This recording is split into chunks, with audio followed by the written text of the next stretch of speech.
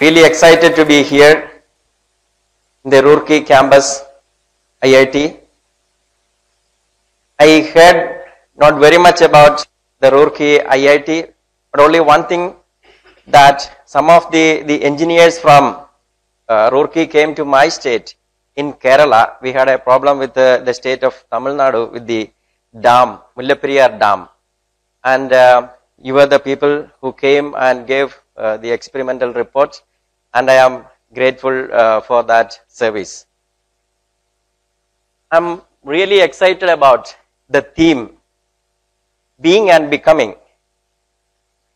It really incorporates and integrates lots of traditions, uh, lots of vision, and uh, that really captivated me to come over here. And I am grateful uh, to OGES who contacted me and also the other TED uh, leaders in interacting and uh, with me and I came here and I found a very wonderful place. So really uh, an integration of my like life experiences.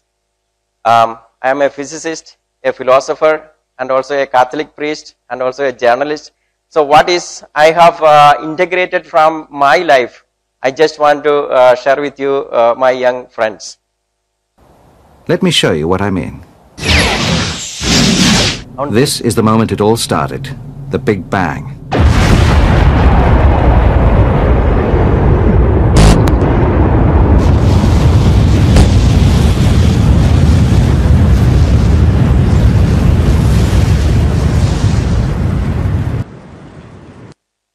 Um, as you are all following science, I am sure that you know almost 13.7 billion years ago, we reach out to the origins of the universe. As we were thinking about these uh, beginning of this universe from uh, physics, we come to know that it happened 13.5, 13.7 billion years ago, and uh, the humanity have gone through uh, various phases like fear, awe, splendor, wonder, and curiosity. And science, through its curiosity, tells us that today this Big Bang happened almost a particular time ago, and we are experiencing this wonderful myriad forms of matter, life, and mind. We come to know about the beginning of this uh, science from the philosophy, uh, from the religion, that is fear, wonder, awe, and splendor that generated the curiosity.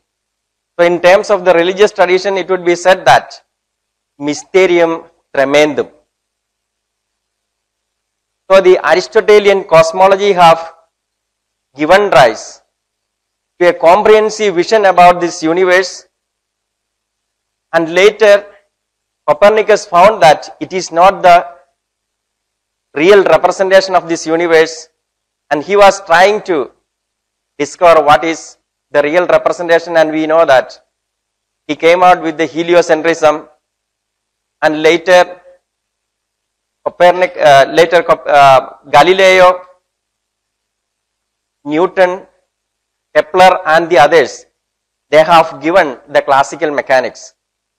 The classical mechanics have shown us the deterministic view of the world and as a perfection of this, we see in Einstein's theory of relativity. So the theory of relativity is explaining that there is a cosmic interconnection that wherever there is uh, matter, there is space-time and matter space-time is a continuum. There is an inextricable interconnectivity there. We also uh, see that uh, from uh, Max Planck, Schrodinger, and then uh, Einstein, Heisenberg and various other uh, physicists, quantum mechanics, mechanics, they have developed the quantum mechanics and they were trying to explain about the universe as chaotic and indeterministic. And we also find that Einstein and the others were not thinking that quantum mechanics is not a complete theory and therefore he was proposing um, a thought experiment which is known as Einstein-Podolsky-Rosen thought experiment which uh, was able to show that it was a, a thought experiment that the incompleteness of uh, quantum mechanics and later uh, we could see that David Bohm aspect and Zeilinger they were showing that some aspects of this and later this has been evolved into what we uh, know that non-locality. That is, there is a, an interconnectivity between the particles. That is the left spinning and the right spinning particles when they are brought together into a unity, we could see that, you know, there is no uh, space and time in, in between them. So what affect, affects one part will be affecting the other. This has been later uh, further uh, explained and further given by uh, scientists uh, like ECG Sudarshan and various uh, others and uh, from there we can know that there is transluminal signals. tachyons which was proposed by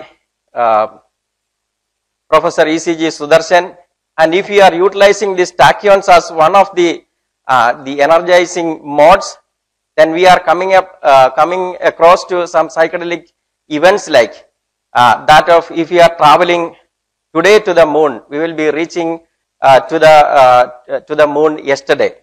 So it shows that you know there is an interconnectivity between the physical uh, matter. So when we come across to the theory of uh, evolution and genetics, we could also see that this interconnectivity. So everything, whether it is uh, all kinds of life, plant life, animal life, human life, uh, we could see that you know they are interconnected. Whether it is a fungus, whether it is a uh, uh, leaf, a mouse, a cow, uh, whether it is a gorilla or chimpanzee, we could see that you know we are all interrelated. Suppose that a mosquito is biting you and if you are unknowingly, unknowingly you are going to, uh, uh, you are going to, uh, to kill it, eating it and killing it, then you are killing a distant cousin of yours. So it shows that, you know, it is really, uh, we are all interconnected. So these are some of the percentages, you know, we are sharing with the, uh, with the other beings. Only thing is that, you know, you should not ask me uh, how much percentage uh, we are uh, related with the pigs. It may be uh, that, you know, it depends. So we are all into a, uh, a life continuum.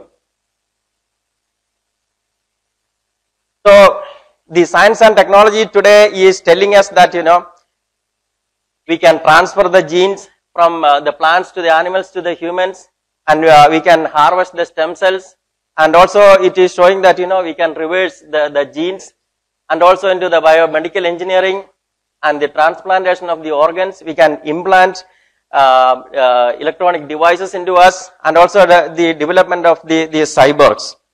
So there also we uh, see that the interconnectivity. So then uh, we come across to the consciousness. So we can see that you know the evolutionary model of this universe, uh, the evolutionary process is also in our brain. So we have started as a singular organism then we can see that our further development into, uh, development into uh, a fish, a lizard, a furry animal, and uh, also a monkey. So these are the different stages of the human being, uh, still which we are acting. Sometimes if you are very angry and kicking some of your friends, you are becoming an animal like. So the, the animal brain in you is acting. And also uh, we can see that you know the frontal lobe which is uh, of the latest stage. So there we can uh, find that, you know, that is the most rational and uh, it is, our brain is made up of the left and the right. the left which is logical, and the, uh, the right which is uh, irrational and uh, creative, ingenious. So we see that, you know, the evolutionary process is within us.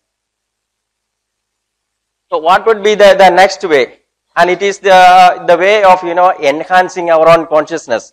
How it is capable of, it is said that, you know, we are utilizing only almost uh, one tenth of our own capability. So using um, uh, cognitive behavior therapy, hypnotherapy and other processes, it is for us uh, to, to enhance our own consciousness and that is possible to be uh, creative and active.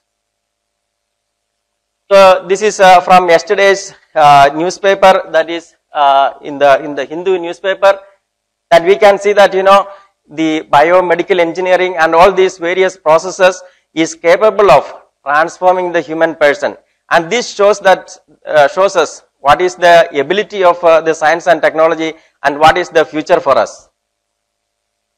So the evolutionary future is based on the evolutionary past. So we are a cosmic evolution, we are a chemical evolution, we also have a stellar evolution and we also have a life organic evolution. We can see that, you know, the massive ma uh, macroscopic uh, evolution in this universe and also we can see that, you know, the micro uh, evolutions that is also happening in our own life. Perhaps we can see that, you know, the cancer diseases that is um, appearing everywhere in this uh, neighborhood that uh, all over the place you could see that, you know, more and more uh, cancer patients, it is the transformation of the human person into something next, next stage, the evolutionary process. So this uh, we can see that, you know, from uh, 13.7 billion years ago, we are passing through these various uh, stages. What would be our future? The future uh, of us can be given by the science and technology. That is um, the neurotechnology, the information technology, uh, the biotechnology.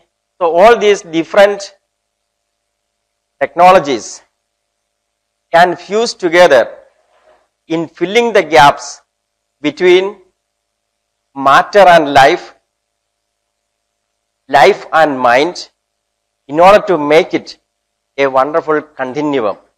So that is the, the human vocation. Filling up the gaps to enhance the, the universe into an evolutionary uh, future. So that is uh, the, the real uh, goal of us and what science and technology can give us. The mission. We may be lacking something important. The science and technology can give us life facilitating mechanisms. But I think that there is something which is far beyond it. What we need is also meaning in life. So, science needs its other. As I said, you know, curiosity can give us, it can explain to us the how of the things. But the why of the things, I think it can only be given by philosophy or spirituality or religion. So in order to give the meaning in life, I think religion and philosophy is also necessary.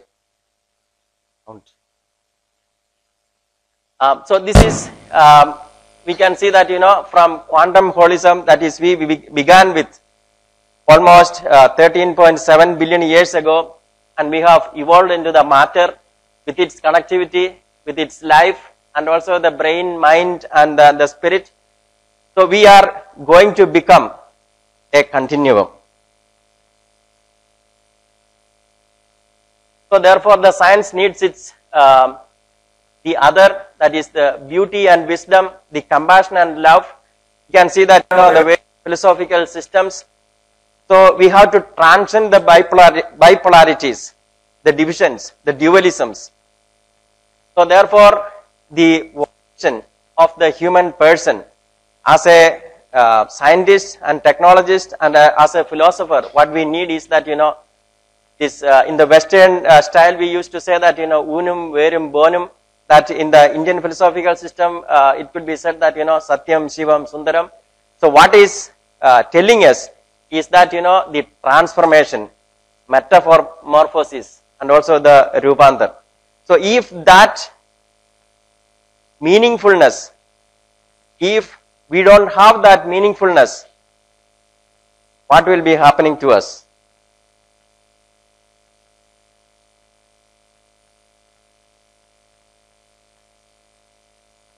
So what that meaningfulness is not there. So this is what uh, is going to happen to us.